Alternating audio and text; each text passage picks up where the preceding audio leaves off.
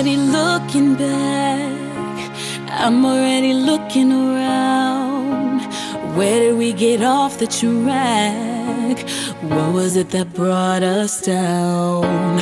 I'm already waking up. Or have I been asleep too long? Losing you was hard enough.